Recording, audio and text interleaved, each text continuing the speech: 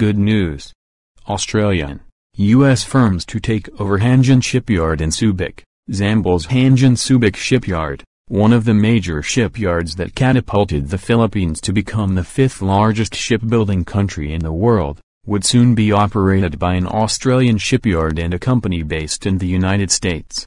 Maritime Industry Authority, Marina, Administrator Robert Empedrad said a contract was already finalized and any time soon, a company from the U.S. would take over Hanjin Heavy Industries and Construction Phils. Incorporated, HHIC-PH, in collaboration with an Australian shipyard operator. If not due to pandemic, this takeover is finished. An Australian company would operate the shipyard. This is a welcome development because it would give employment to laid-off shipyard workers, he said. Empedrad added that one of the projects of Marina is to activate the shipyards to allow 20,000 Filipino skilled workers to go back to shipyard and continue with their jobs.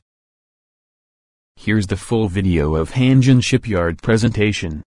In heavy industries and construction strongly believes technological development is the key to the successful future of the global shipbuilding industry. We stayed true to our belief and surprised the whole world by accomplishing the impossible. We fought against poor weather conditions and lack of infrastructure and manpower and created a cutting-edge shipyard. We are preparing ourselves to take a big leap forward through the completion of our world-class Subic shipyard. Hanjin Heavy Industries and Construction's Subic shipyard located in the Philippines is about to set new standards in the world's shipbuilding industry.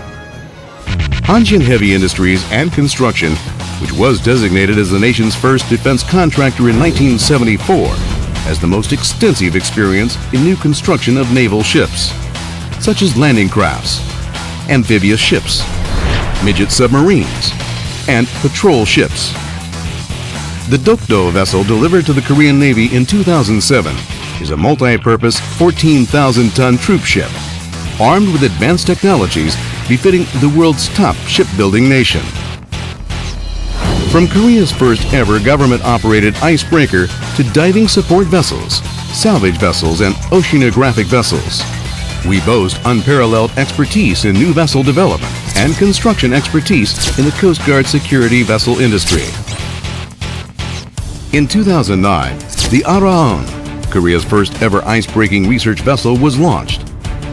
The Araon is a high-tech vessel designed for operation in one meter thick, multi-year ice conditions with a 3 knot speed per hour in extreme temperatures of minus 30 degrees Celsius and is equipped with a 25-ton crane, helicopter, and 60 different types of research equipment. The success of its test voyage to the Antarctic in February 2010 has given Korean citizens confidence in Korea's future and has shown Hanjin Heavy Industries and Construction's advanced know-how and technological expertise to the world. Now, Hanjin Heavy Industries and Construction will expand its specialized expertise such as offshore plants and FPSOs, by maximizing the mutual synergy effect of the Subic shipyard and the Yeongdo shipyard.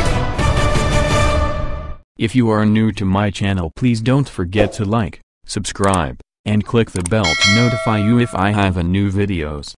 God bless, Philippines.